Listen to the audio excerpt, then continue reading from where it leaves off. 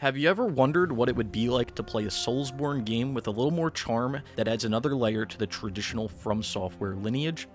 What's going on guys? Snickel here, and in this video I'll be walking you through the most efficient way to get the Platinum Trophy in Sekiro Shadows Die Twice for the PlayStation 4.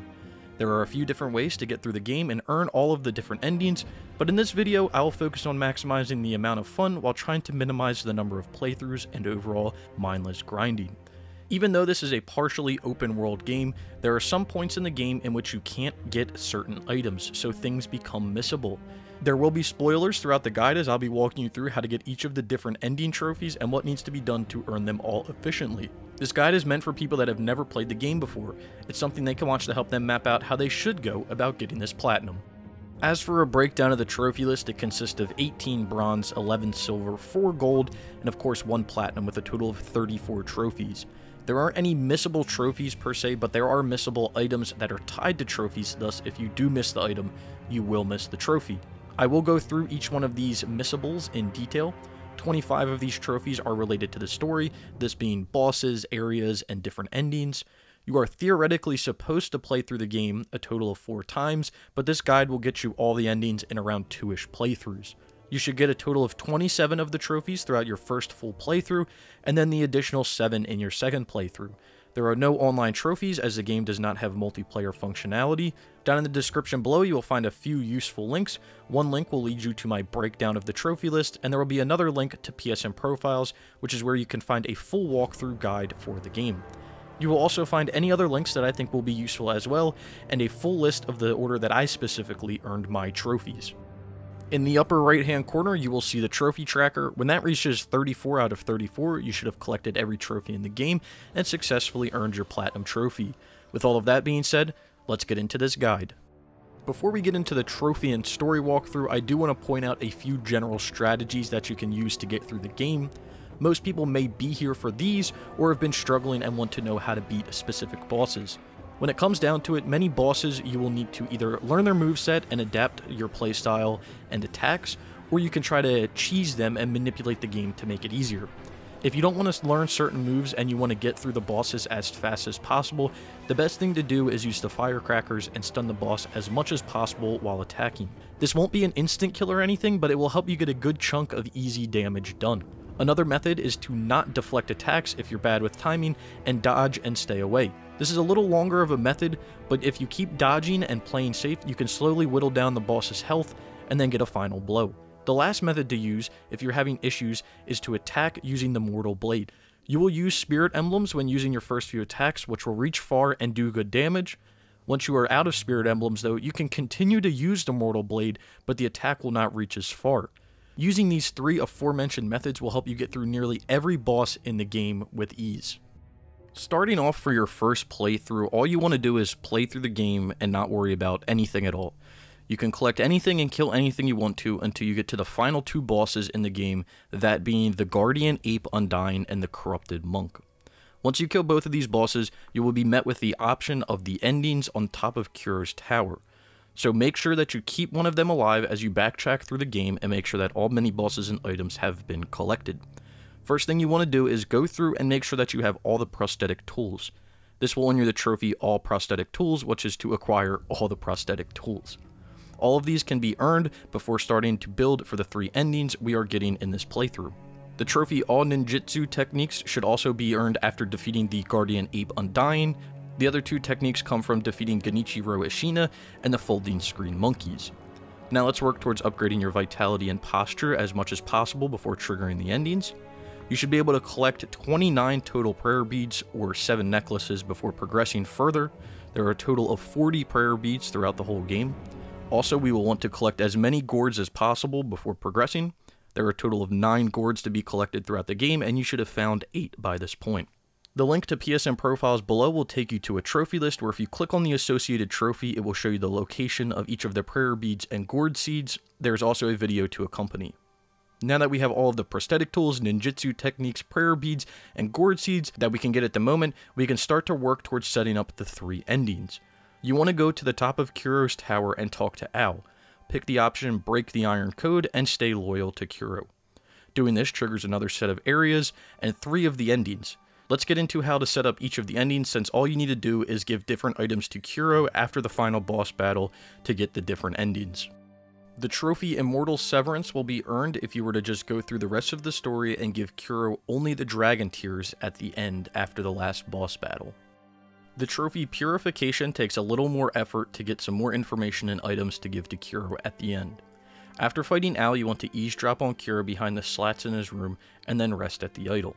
You then want to talk to Emma upstairs and tell her that you agree with her. Kuro cannot be allowed to die and then rest at the idol again. Talk to Emma again and then go to Old Grave. Go left immediately into the graves and talk to Emma again. Now go to the dilapidated temple and eavesdrop on Emma through the slats behind the building.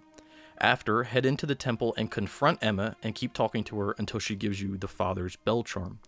Use this charm on the Buddha statue to the left of her, which will bring you to a different Hirata estate. Continue through the Hirata estate, and when you get to the audience chamber idol, where Lady Butterfly was, you should find Owl again and fight him. After beating him, you will get the aromatic flower.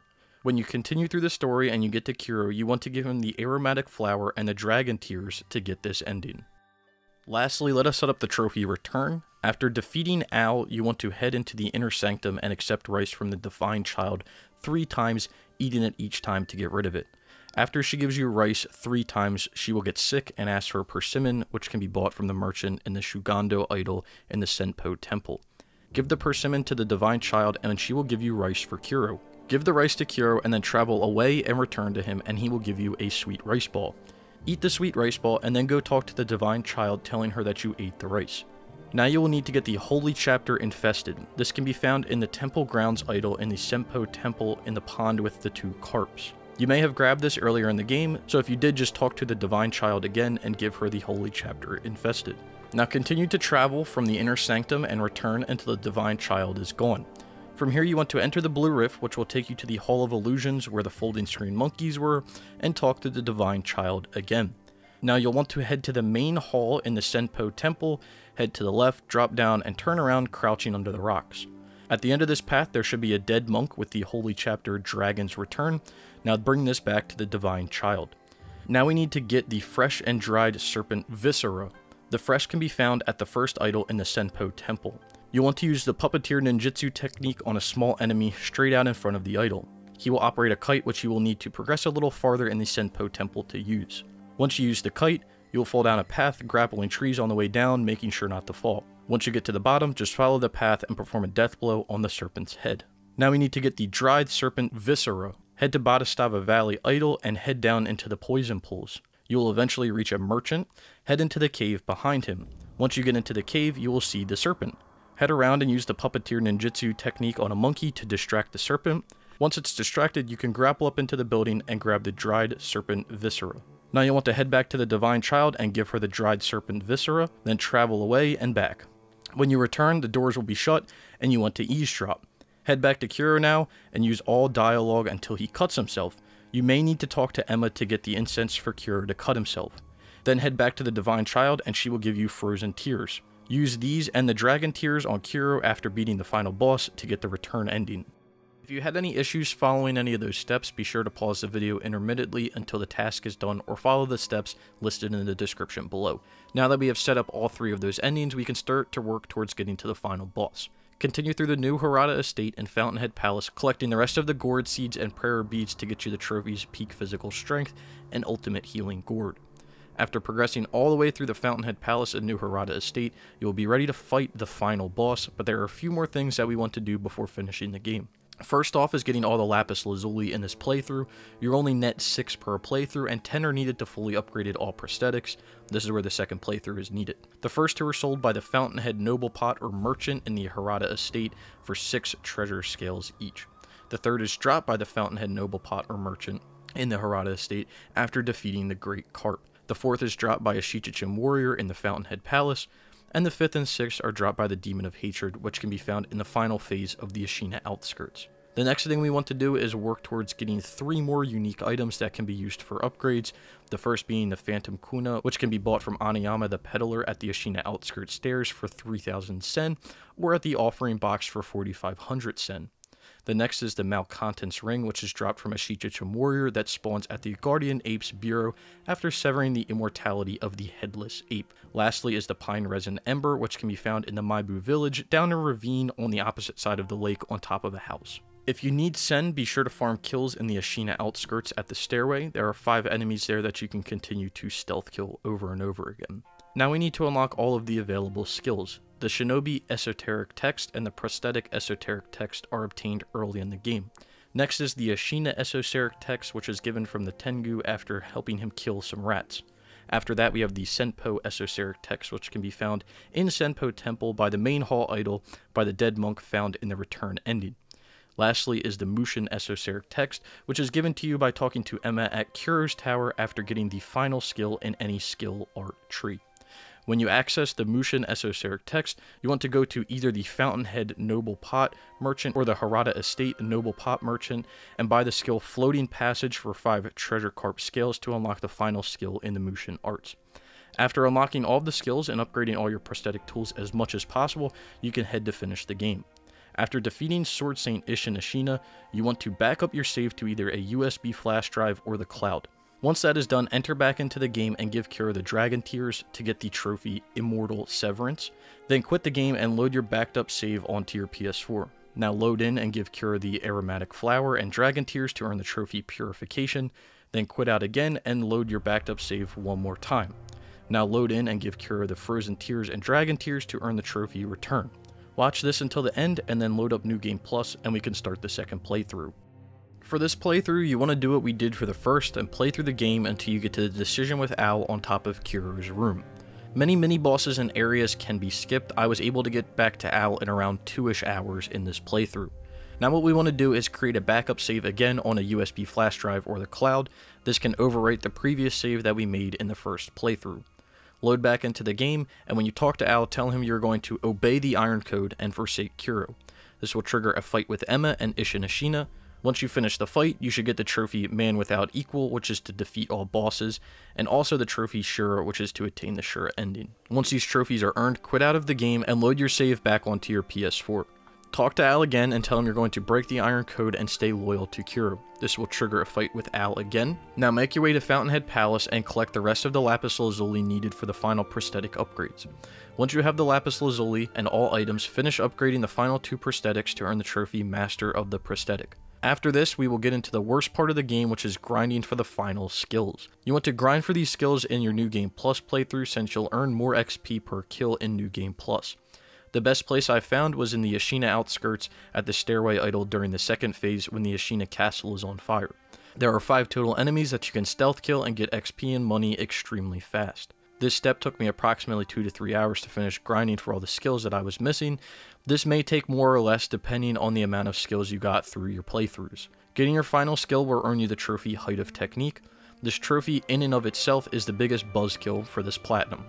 After setting up each of those endings, hours of grinding, and possibly a few broken controllers, you will finally have this platinum trophy Sekiro. So does this game stack up to a Soulsborne game at the end of the day? In its own quirky way, it does. It puts you on edge to not want to die to lose progress, whether it's how far you've gotten into the level or the XP and sen you've been saving up. There isn't ever a moment in the game where you can sit back and just breeze through with no worries, and that thought of doubt or worry is what makes a Soulsborne game so exhilarating to play. The moment you beat a boss that you've been dying to dozens of times, or learning to deflect or dodge properly to decimate your enemy, is just some of the satisfaction that this game will leave you with. But just like a Soulsborne game, your trials and tribulations will be etched into your brain forever. It's a game that's brutal to you at first, but so satisfying once you master it. Overall, the multiple endings can be a lot to take on at first, but once you realize how to get through each one, it's very easy. And even if you do miss something, you have to play New Game Plus at a minimum. If you aren't into loading up multiple saves, then disregard the save reloading method and play fully back through the game to get each of the endings. This game took me a few weeks to platinum, but I did put it down for a while after getting it on release. Realistically, you can get through the game in around 60 to 70 hours throughout your two playthroughs. There is no DLC as of recording this video, so once you get to Platinum, you will obtain the 100% completion as well.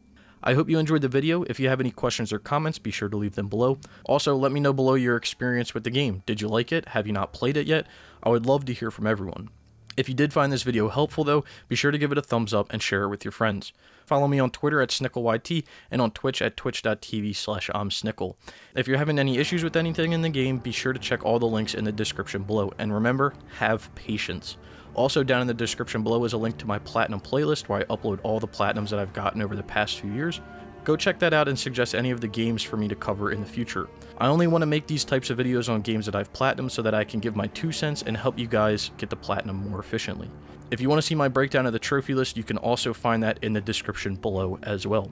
Anyway, I hope to see you around sometime soon.